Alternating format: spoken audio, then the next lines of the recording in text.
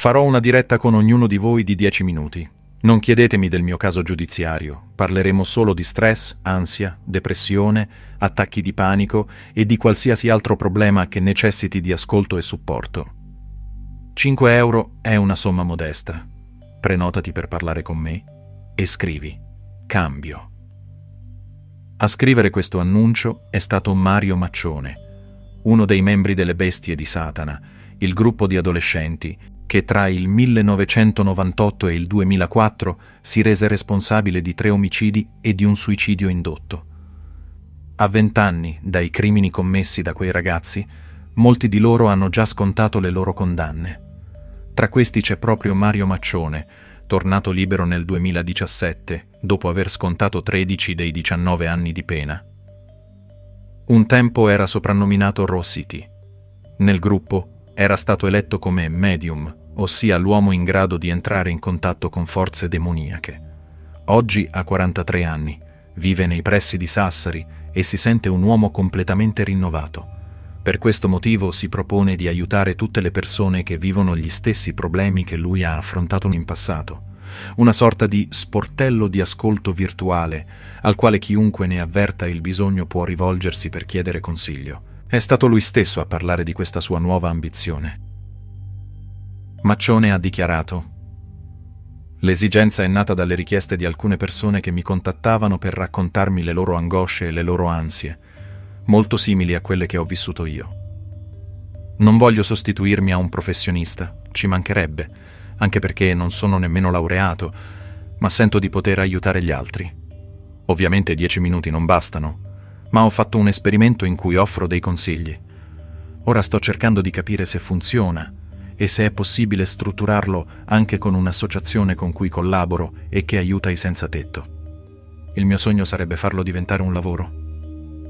Questa nuova strada intrapresa da Maccione ha suscitato la reazione dei familiari delle vittime, in particolare quella di Michele Tollis, padre di Fabio, il diciannovenne ucciso e sepolto in un bosco di Somma Lombardo insieme a Chiara Marino, anch'ella diciannovenne.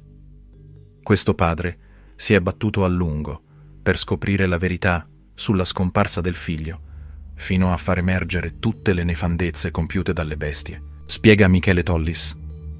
Che dire? Il lupo cambia il pelo, ma non il vizio. In questo periodo sto cercando di disintossicarmi. Evito di leggere qualunque notizia sulla vicenda. Nonostante ciò, sono comunque giunto a conoscenza di questa novità. Mi sembra assurdo, se non pericoloso, come pericoloso è il personaggio. A tal proposito ha parlato anche Annalia Ferrarese, madre di Christian Frigerio, un operaio scomparso il 14 novembre 1996 e mai più ritrovato. Fu lo stesso Maccione, nel 2008, a indicare Frigerio come vittima della setta, salvo poi ritrattare. Dice oggi la madre di Christian, sono molto arrabbiata. Mi chiedo se ora vuole fare soldi dopo aver commesso omicidi. Poi la donna ripercorre il caso della scomparsa di suo figlio, mai ufficialmente annoverato tra le vittime delle bestie di Satana. Maccione andò al parco in Crea con i carabinieri e con il pubblico ministero per indicare dove si trovava il corpo di mio figlio Christian, anche se poi non fu trovato. Oggi, invece, afferma di non aver mai conosciuto mio figlio mi chiedo quindi come mai decise di andare con i carabinieri al parco. Di chi sarebbe il corpo che lui intendeva far ritrovare? Ci andò soltanto per ottenere uno sconto di pena. Per le bestie di Satana ci sarebbe voluta la pena di morte. Sì, sarò crudele, ma mi hanno tolto un figlio e non ho nemmeno una tomba dove piangerlo. Maccione ha trascorso del tempo in diversi penitenziari. In quello di Bollate, vicino a Milano, ha seguito un percorso di disintossicazione dalle droghe e di rinascita psicologica. Quest'anno ha pubblicato un libro intitolato Cambio vita, come uscire dalle dipendenze, depressione e ansia. Si descrive come un esperto di meditazione, musicista e amante della natura. Ma chi potrebbe essere interessato a chiedere consigli a un uomo con il suo passato?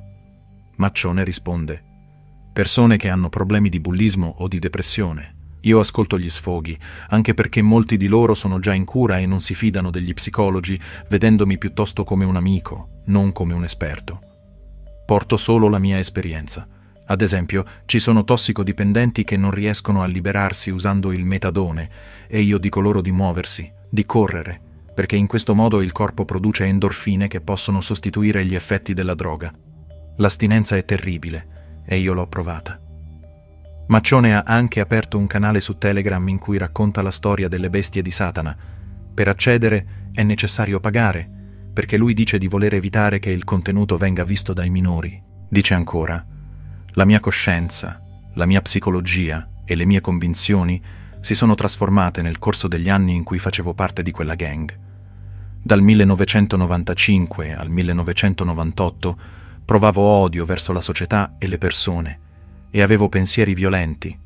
Tutto era leggero, facile e mi sentivo onnipotente. Non davo molto valore alla mia vita perché non avevo la percezione del rischio ed ero dipendente dalle droghe che alimentavano quella realtà e nascondevano il mio nemico principale, la noia. Dal 1998 al 2004 tutto era paura, ossessione, paranoia, sotterfugi e inganni, segreti atroci, frustrazioni, impotenza, tensioni continue, depressione, attacchi di panico e tutto ciò che oggi voglio aiutare a eliminare.